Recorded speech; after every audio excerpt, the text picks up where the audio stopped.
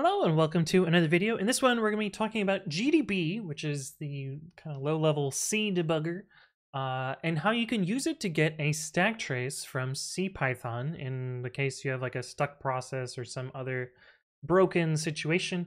Um, I did another video on GDB and CPython uh, previously. I will link that in the description, uh, but I missed this very important debugging tool, uh, and I'll show you how I used it recently to debug a deadlock in a bit of code.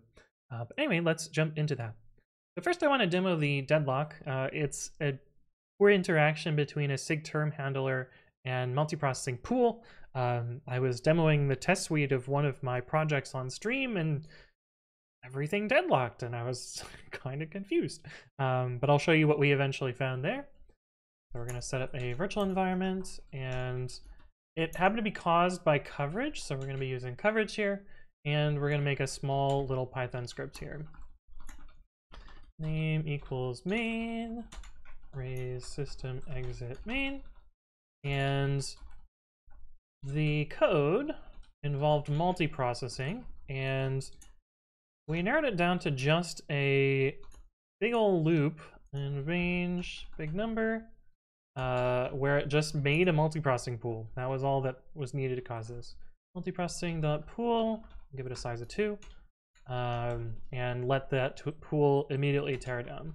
I'm also going to print some dots so that we uh, see how this goes, um, just so that we can see it execute at the same time. And so normally if you run this just by itself, it's just going to print a bunch of dots and then eventually exit. This doesn't trigger the deadlock because uh, we didn't run this with coverage, and you know you'll have to trust me on it, but it's going to print these dots for a very, very long time. And eventually, uh, if I control C, it'll stop. But if we run that with coverage, uh, let me actually do it over here, because we're going to be using the left side screen to do the smart debugging. Coverage run dash M T. And so this is going to run under coverage. And you'll see that eventually it stops. And this is where it is actually deadlocked here.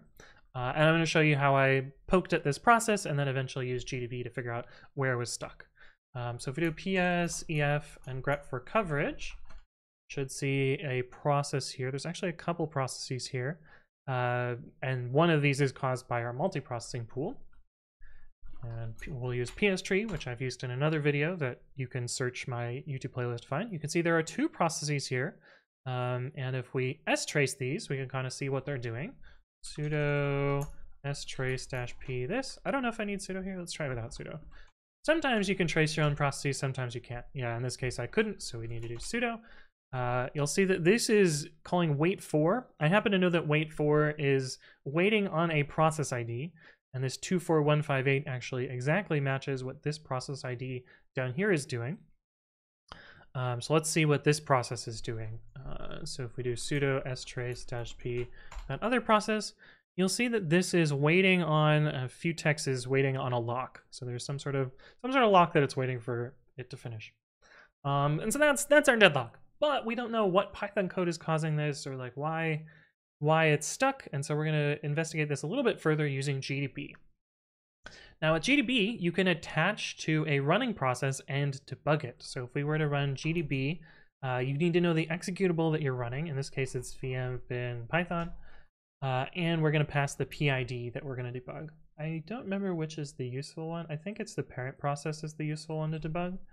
Um, and you'll see that we actually get an error could not attach to process, and that's the same problem that we had with strace, so we need to do this with sudo. Uh, it'll load up all of the symbols for all of the linked libraries. Uh, you can page through this. There's a whole bunch of stuff that got loaded into this process. And now we can kind of start poking around. We can get a backtrace uh, and see where we are in the in the function code.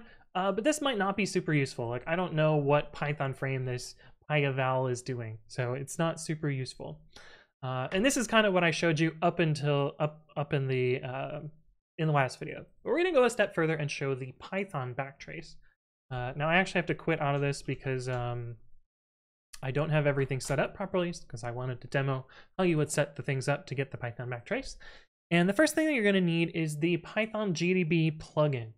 Now this automatically gets installed if you have installed the debug build of Python for your um, for whatever Python version you're using. So Python 3.8-dbg this will install uh, the GDB plugin for the debug build of Python. And you actually don't need the debug build to use the GDB plugin. It's like, this is not running using debug Python. It's just stock.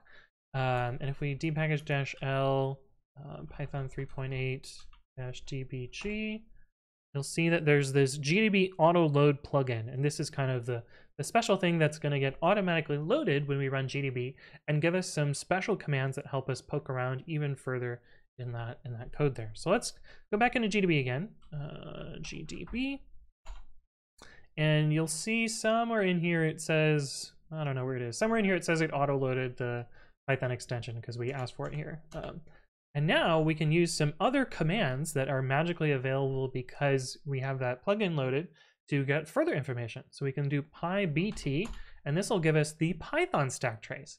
Now, it's inverted, so it's not quite how you would expect to see it from a normal stack trace. Normally you expect the bottom to be the most important, but in this case it's actually the top here. You can see that it is waiting, it is stuck inside the wait PID function, uh, inside of the initialization, actually the termination of multiprocessing pool. So it's waiting for a process to die and it has not died yet. And so that's kind of where it gets stuck. Um, and so you can, you can poke around and see like, okay, here's here's the Python stack trace. You can also navigate the Python frames by using py up and py down. Uh, so if we did py up, uh, we are now, uh, I don't know. Oh yeah, we're, we're at this line here. So this is the line of Python code. This is the line of C code. Um, and you can you know poke around in here and figure out what things are supposed to happen here and maybe figure out the solution to your problem. I actually don't know the solution to this problem because it's a little bit a little bit above my head um, but let's get to a useful frame where we can actually see something. Ass oh we're uh, in our main function here. Py down. Uh, py locals. Py, py locals? Is that what it is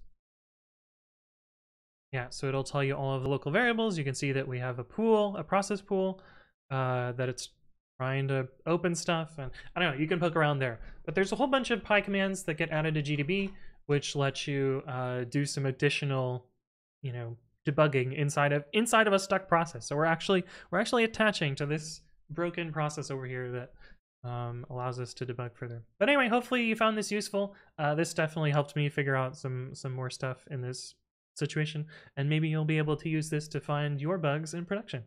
Anyway, uh, if you have additional things you would like me to explain, leave a comment below or reach out to me on the various platforms. But thank you all for watching, and I will see you in the next one.